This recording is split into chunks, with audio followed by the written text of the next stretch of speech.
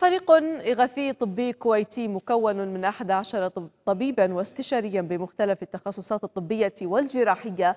وصل إلى قطاع غزة من أجل تقديم العون للقطاع الطبي في مستشفى غزة الأوروبي ومستشفى الكويت التخصصي. من بينهم الدكتور محمد الكندري الذي نشر عبر حسابه على إنستغرام الفيديو التالي الذي يوثق فيه شهادته لما شاهده في قطاع غزة. تابع. تسمعون صوت هذا؟ هذه الزنانة. هذه الطيارة اللي وظيفتها بس تدور استطلاعات وتسوي إزعاج ترعب الناس. أمس يا جماعة كانت أول ليلة لي هني في غزة في رفح. نمنا تقريبا الساعة 11 11 ونص كان يصير قصف.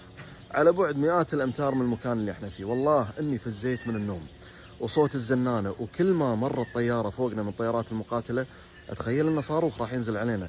الأمر والله مرعب. وأمس قصفوا سيارة فيها أربع أجانب أسترالي وبولندي وإيرلندي وبريطاني حسب حسب علمي.